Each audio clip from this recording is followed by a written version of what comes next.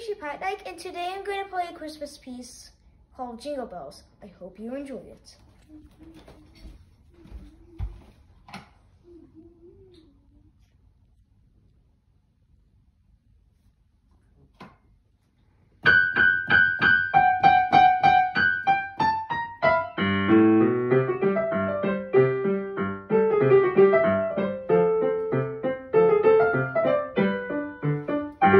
thank you